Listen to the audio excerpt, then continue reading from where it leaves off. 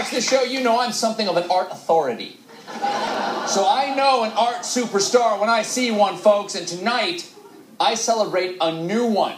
Painter Jon McNaughton, who is quickly becoming the darling of conservative art lovers. Hey, hold it right there, Colbert. If you're going to show the work of that right wing artist, then I demand equal time for progressive artist Michael D'Antuono. That's me.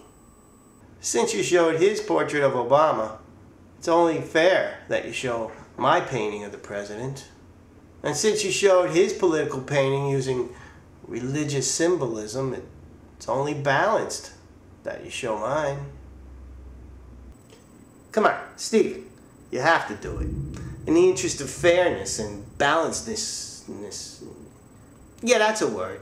Hey, truthiness is a word. But that's not the point.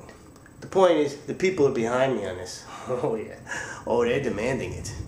Stephen Colbert, please be fair and set a good example for the children. What? Hey, Gumare Colbert, come here. What do you say you let my friend Mikey D come on your show? Comes, he sits, you talk for a while, forget about it. Let's go. You boys want to hold it down there?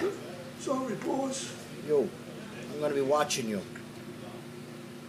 Okay. Please, Mr. Colbert, please put Michael D'Antuono on your show. Pretty please show his art. Cut. How can I have my teddy bear back? Stephen, please show D'Antuono's work. Who's a jerk? No, I mean give him equal time. Oh, 315. I said put him on his show. Gesundheit.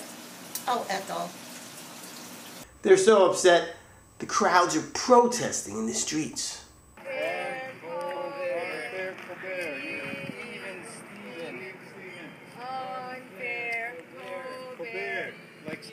It's your call, Colbert.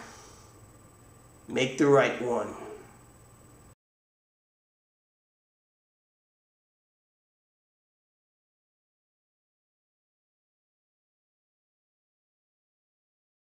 Paid for by the Coalition of Patriotic American Citizens for D'Antuono's Equal Time on the Colbert Report.